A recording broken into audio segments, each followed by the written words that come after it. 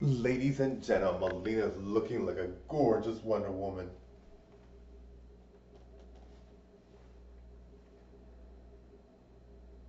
Bye everyone, thank you.